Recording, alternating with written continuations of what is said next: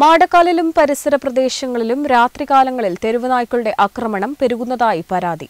കഴിഞ്ഞ ദിവസം മാടക്കാലിലെ കെ. സുഹറാബിയുടെ വീട്ടിൽ വളർത്തുന്ന പതിനാല് കോഴികളെയാണ് തെരുവുനായ്ക്കൾ കൂട് തകർത്ത് കൊന്നൊടുക്കിയത്. മാടക്കാലിലും പരിസര പ്രദേശങ്ങളിലുമാണ് രാത്രികാലങ്ങളിൽ തെരുവുനായ്ക്കളുടെ ആക്രമണം കൂടുതൽ ശക്തമാകുന്നത്. കഴിഞ്ഞ ദിവസം മാടക്കാലിലെ കെ. സുഹറാബിയുടെ വീട്ടിൽ വളർത്തുന്ന പതിനാല് കോഴികളെയാണ് തെരുവുനായ്ക്കൾ കൂട് തകർത്ത് കൊന്നൊടുക്കിയത്.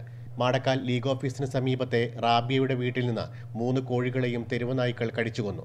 നായ്ക്കളുടെ ആക്രമണങ്ങൾ മാടക്കാൽ പ്രദേശങ്ങളിൽ പെരുകി വരുന്ന സാഹചര്യത്തിൽ ആക്രമണകാരികളായ തെരുവുനായ്ക്കളെ നിയന്ത്രിക്കാൻ ആവശ്യമായ നടപടികൾ അധികൃതരുടെ ഭാഗത്തുനിന്ന് ഉണ്ടാകണമെന്ന് നാട്ടുകാർ ആവശ്യപ്പെട്ടു. ഇവിടെ ഇപ്പം പത്ത് പതിനഞ്ച് കോഴിയെ കൊന്നതും അതുപോലെ തന്നെ കോഴിയെ മാത്രമല്ല മൃഗങ്ങളെയും അതുപോലെ ആട് മേയ്ക്കാൻ കെട്ടിയ ആടുകളും ഇതുപോലെ കൊല്ലപ്പെട്ടിട്ടുണ്ട്. അതുപോലെ തന്നെ ജനങ്ങൾക്ക് വഴി നടക്കാൻ പറ്റാത്ത ഒരവസ്ഥയാണ് രാത്രിയിലും പകലിലും അതുപോലെ സ്കൂൾ കുട്ടികൾക്കും സ്കൂൾ പോകാൻ പറ്റാത്ത അവസ്ഥയിലാണ് അതുപോലെ ഒരു സ്ത്രീയെ നായ കടിച്ചിട്ട് ഇപ്പോഴും ചികിത്സയിലാണ്. Network news Trikaripur